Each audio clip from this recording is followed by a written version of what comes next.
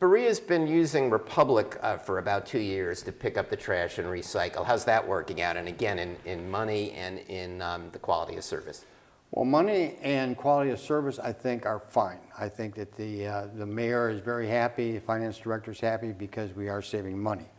Uh, The uh, service is fine, because we have a calendar of a year when they're gonna be picking up bulk trash, etc.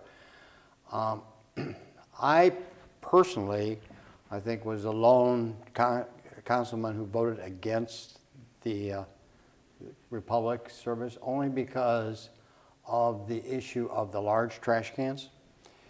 Uh, That has become an issue in the city because uh, we have an ordinance that the trash cans have to be hidden behind a fence or behind the back frontage of the house. And in Berea, we have a lot of one-car garages.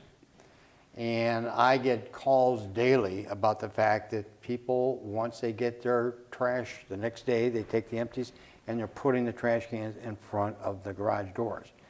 And uh, a lot of people are, are opposed to that. Um, The ordinance is there, but the problem of enforcement is another issue.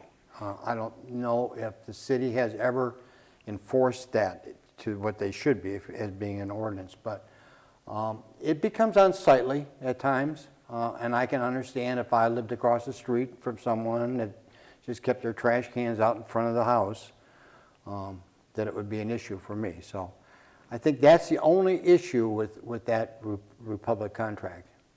Now, Berea, especially in the older neighborhoods like Polish Village, has some alleys. How does it work in an alley? Does that count as your front or your back? And how, how did that, can you put the can on the driveway there?